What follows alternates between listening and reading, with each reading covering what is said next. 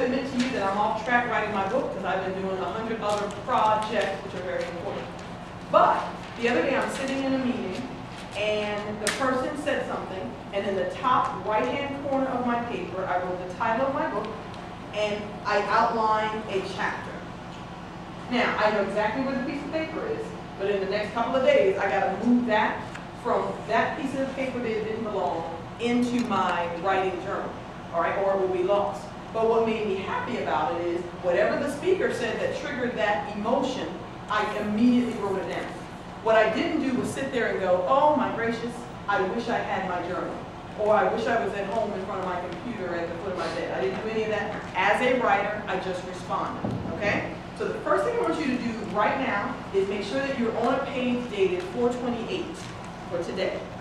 428 at the top of your paper. If you need a pencil, grab one off the um, cart. What I want you to jot down, and I want you to write for three minutes without stopping, Dan, okay? I want you to write about the things that have your attention. Okay? So think about that. A lot's been going on. Some of you are going to go back to Easter and bring it forward.